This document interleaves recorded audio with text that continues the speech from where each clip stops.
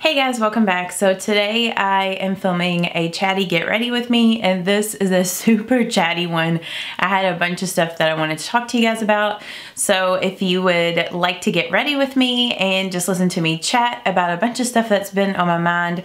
And I also use um, a couple of new makeup products today as well and some odor stuff. So yeah, let's just go ahead and jump into it. Hey guys, good morning. So I thought I would film another chatty get ready with me while I was getting ready for work.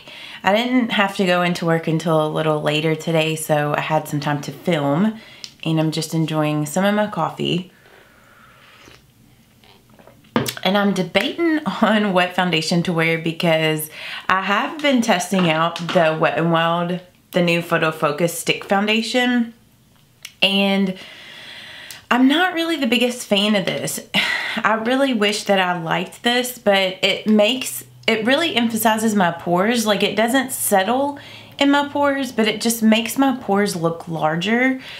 And I kind of want to take a break from this today. I might try it another day with like a pore filling primer to see if maybe I like it better that way, but I don't know. I don't really have the best luck with stick foundations. At least I haven't found one yet that I really like. So, and the shades on those, it's like I can't really figure out what my shade is.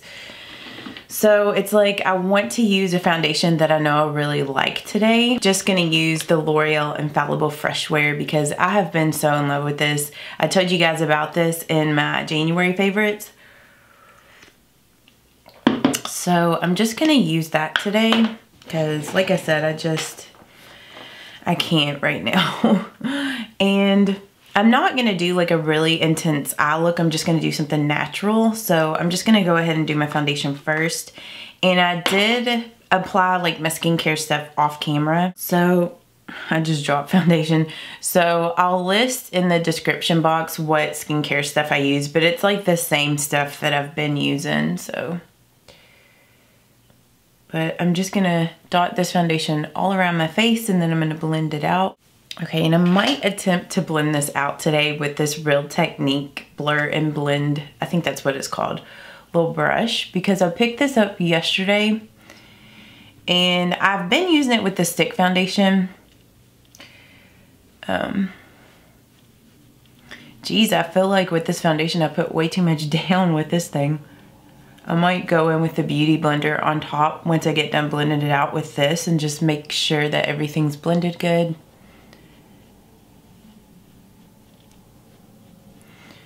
Yeah, I can definitely see with where that foundation, because I've seen other people review this L'Oreal foundation and they, most people say that with a brush, it looks um, more full coverage.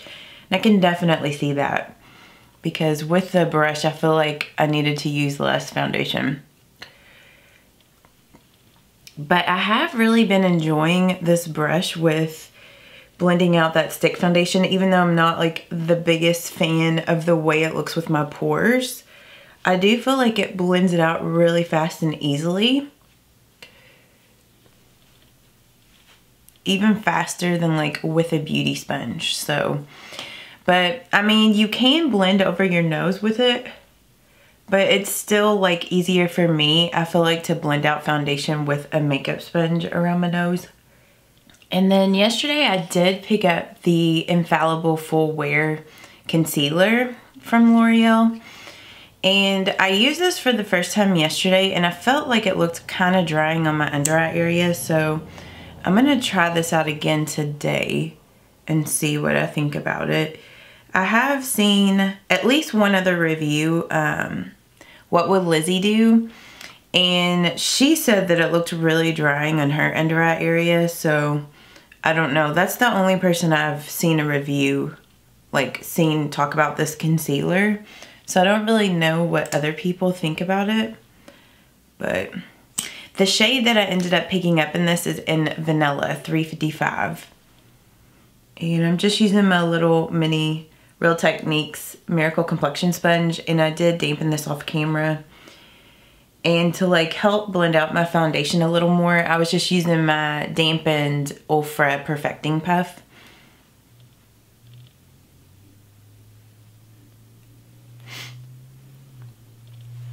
I think the key with this concealer and honestly with a lot of concealers with me is like right on the under eye area not to apply too much but then you can apply more you know down underneath the under eye area because it's just like I feel like that's just where my skin is starting to show a little bit of aging is right around my under eyes and also like I'm starting to get like little 11 o'clock little baby wrinkles in between here.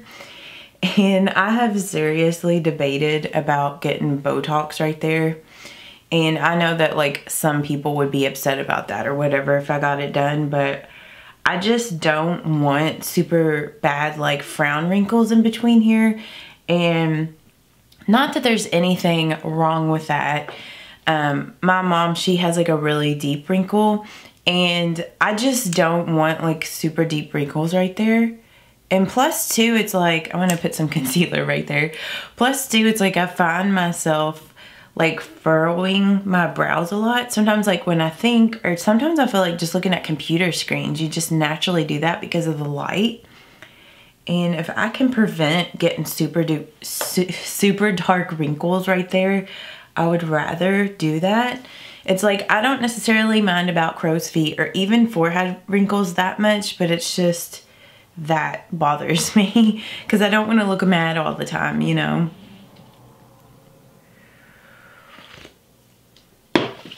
Okay, so to set everything, I'm just to use my powders. And it's like one of those things. It's like if I wasn't doing YouTube, like honestly, I wouldn't even think twice about getting it done, you know? I mean, if I have the money, I know it's expensive and you have to get it done like every six months or so. But I wouldn't even think twice about it, but it's just, oh, I think I'm gonna use this today because this is new. I got this sent to me for free from Octoly, or through Octoly from Real Techniques um, I selected to do a review on this. And this is their Insta face brush, I think. Instapop face brush. And I have been using it for powders and I feel like it works pretty good. But yeah, it's like I wouldn't really even think twice about it. But it's like with YouTube, it's like you feel like, oh, I don't want to step on people's toes and stuff. But I really have to get over that and do things that I want to do. And I mean, like I said, I want to do videos that y'all want to see, but I can't worry about if I get a little bit of Botox if people get upset. Like, I mean, people are just going to get upset. I mean, I'm going to turn 35 this year. I'm trying to find my brush. I mean, I'm to be turning 35 this year and it's like, you know, I don't feel like there's anything wrong with a 35 year old getting Botox. I feel like that's a normal age to start getting stuff like that. Um, but it's like, obviously I'm not gonna go crazy and get like a nose job and fillers and lip plumpers and you know lip fillers and all that stuff like i'm not about that. Like i just want to get a little bit of botox right here. And not to say that there's anything wrong with that even. If that is something that has really concerned you and you would feel better if you had that done go for it. You know what i mean? That stuff is not permanent. Fillers botox none of that stuff is permanent. So i don't even understand why people make such a big deal about it anyhow but that's my whole spill on that situation. I'm trying to figure out what eyeshadow stuff I want to use today and I've been wanting to use more of these Wet n Wild Liquid Cream eyeshadows. Um, Wet n Wild sent me a PR package of all of their new makeup. Not every single thing, but like most of it. And they sent me off the cream shadows. And I've been wanting to use this one in Sand Castles so I think I'm gonna use that one today. I don't know if I'm gonna be getting Botox anytime soon because I haven't really looked into finding out who to do it because my mom, I think she just goes to like her dermatologist to get it done. Um, but I wanna do some research on it and figure out who I would want to go to and you know how much it's gonna be so if I need to save up some money I can save up some money for it I'm just gonna blend this out with my Sigma P84 brush and I'm probably not gonna zoom in for the eyes today because I mean, I'm just gonna use this one eyeshadow product. Maybe I'll use one of these little blending brushes. But with these cream eyeshadows from Wet n Wild, at least the color Putty in my hands, it's like once you put them down, like they're very liquidy and you can like blend them out. But then after they dry down, then they set up and they don't budge. So, and I've really been enjoying Putty in my hands. I feel like it must have snowed last night. I can't really see outside, but people are driving so slow on the road. So I just got a little bit more of this and I'm blending it with this Profusion blending brush. And I don't know if I told you what color this was, but this is in the color Sand Castles, which is their tan one. Kind of like a bronzer color. I'm just gonna get some on a brush first and then just blend it. I think that way tends to work the best get it on the brush and then blend it out. Yeah, this is such a great product to just like use like a one eyeshadow product look. The only thing is I feel like in this outer corner part, you kind of have to be a little careful. But I have been in love with these Profusion brushes that come in the Profusion palettes.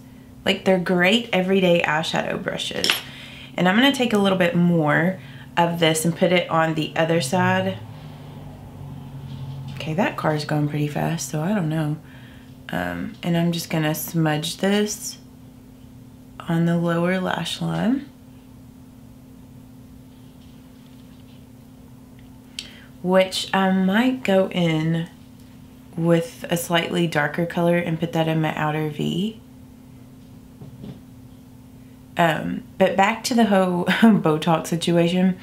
Um, but you guys will have to let me know if I decided to get that done. If you would like to see a video on it.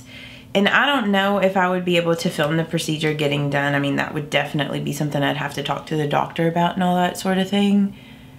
But yeah, I mean, I know people have tons of videos on that.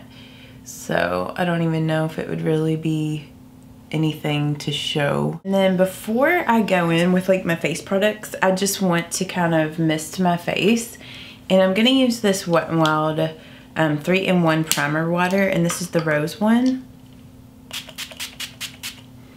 Then since that has dried, I'm gonna go in, if I can grab it. I have two of the new Wet n Wild bronzers in Sunset Striptease and Ticket to Brazil. And I used Sunset Striptease the other day and I feel like I did like this. I've also used Ticket to Brazil. This shade is slightly a little different than like the regular, like than their old Ticket to Brazil bronzer.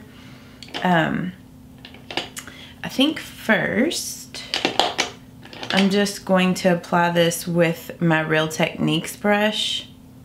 Like I want to use this, but I don't know. I'm still trying to figure out if I really like this bronzer or not. So I want to go in with a brush that I know I like to use. But like these bronzers have like just a little bit of a sheen to them. Like they're not completely matte kind of like the L'Oreal True Match Lumi Bronze It or something like that. And Sunset Striptease is a little darker, a little more cool toned than Ticket to Brazil. Ticket to Brazil is like more warm and it's a little lighter. I'm sorry if you can hear the, well, I don't have to apologize, but if you hear noises, it's the cats.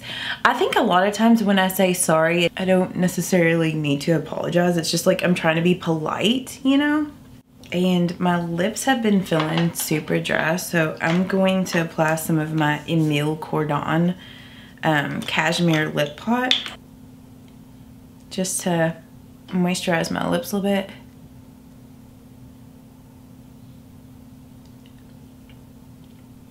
I don't want to be like too blushed up, but I really need to start to use these Lancome blushes. So I'm going to try to apply this with a really light hand. This is in the color Soiree. And just gonna kind of dab some of it off on the back of my hand.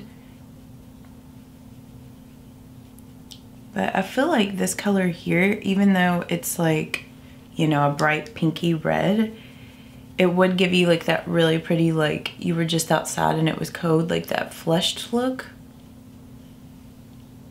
Yeah, it definitely gives you a nice flush look. And if you just apply it with a light hand, I don't feel like it's too overpowering. I mean, I do feel like these little the monochromatiques I feel like they're pretty buildable. Like you can just put a little bit on for like a sheer like wash of color. Okay, for my eyeshadow, I think I'm just gonna go in with just a little bit of this dark brown out of the Wet n Wild Rose in the Air because I want to deepen it up just a little bit in the outer V, but not too much. So I'm just using my Sigma E25 blending and I'm just going to lightly just kind of dabbing that off on the back of my hand so I don't apply too much.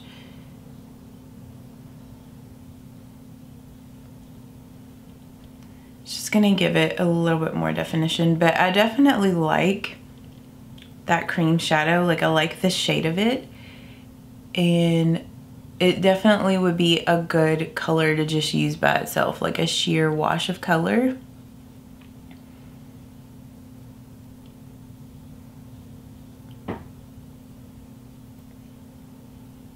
And I think I'm to use this new Wet n Wild highlight in Bloom Time. I used it for the first time the other day and I could use this. I mean, this highlight does give your cheeks like a little bit of color. Like in some ways it kind of reminds me of the blush that they had the springtime of this year that had the little hummingbird on it. I can't remember what that blush was called. But it's kind of the same colors that. I think it might be a little lighter, like not quite as pink.